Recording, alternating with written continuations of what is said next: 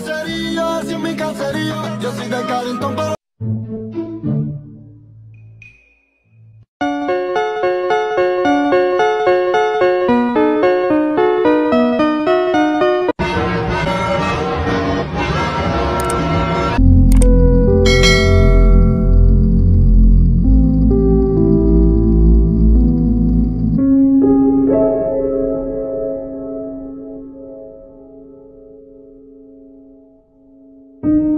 Thank you.